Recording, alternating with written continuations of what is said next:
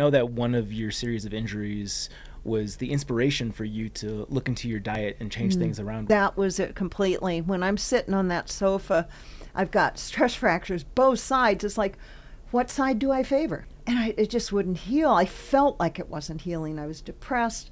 I, and I'm looking up things online and looking at medical doc- documentaries for how to make bones heal faster. I'm looking for a magic elixir.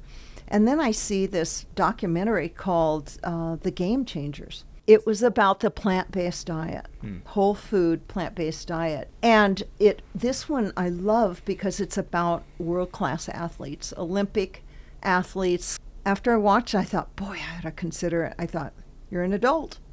Do it. And so I just plunge in. Within 10 days of starting this, my depression lifted. I was on antidepressants. They were helping somewhat, but I could feel I'd been on crutches two months and I just didn't feel that I was healing. But my whole mood changed. My aches and pains, it takes away inflammation, not eating animal products. And I felt so good. Instead of getting up out of bed, back aches, everything, hud- h- wobble down to the bathroom in the morning, you just get up out of bed and go about your day.